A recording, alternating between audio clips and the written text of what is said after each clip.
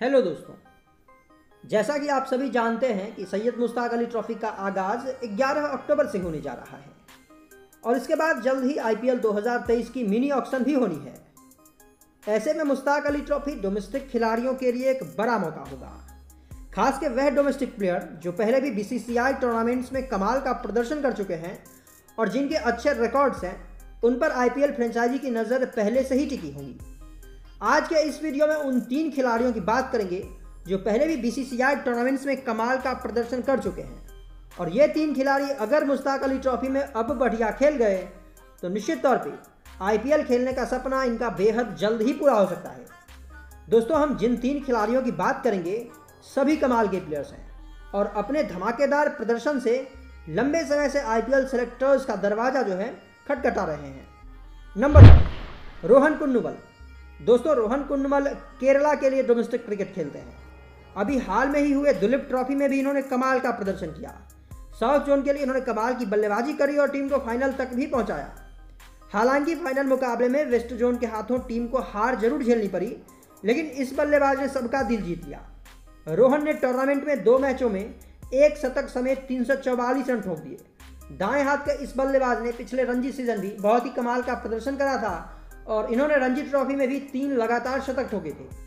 अगर रोहन कुनवल मुश्ताक अली ट्रॉफी में अच्छा खेल गए तो दाएँ हाथ के इस बल्लेबाज का आईपीएल में सिलेक्शन लगभग तय हो सकता है।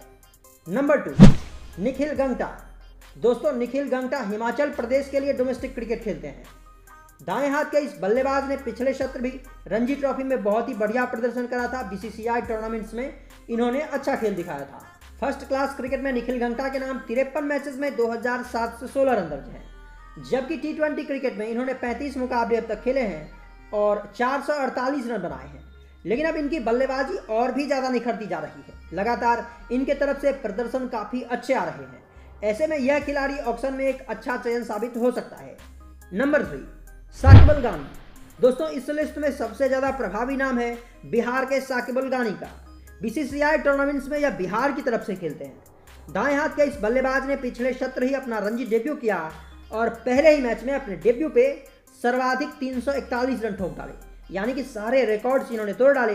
गानी के नाम डोमेस्टिक क्रिकेट में अब तक दो तीरे शतक दर्ज हैं। इन्होंने पिछले रणजी टूर्नामेंट के तीन मैचेस के पाँच इनिंग्स में 601 रन ठोके थे और टूर्नामेंट में सबसे ज़्यादा रन बनाने के मामले में छठे नंबर पे थे। मुझे पूरी उम्मीद है कि इस खिलाड़ी के लिए ऑक्शन में टीमों के बीच कड़ी टक्कर देखने को मिलेगी। दोस्तों, अगर आप भी इन प्लेयर्स को जल्द ही आईपीएल खेलते हुए देखना चाहते हैं तो वीडियो को ज़रूर से लाइक कर लीजिए। अगर आप इस वीडियो को फेसबुक या फिर इंस्टाग्राम पे देख रहे हो तो हमें फॉलो करें। और अगर आप इस वीडियो को यूट्यूब चैनल पे देख रहे हो तो हमें सब्सक्राइब कर लेना। मिलेंगे गाइस अगले वीडियो में, तब तक के लिए bye and be safe and I love you all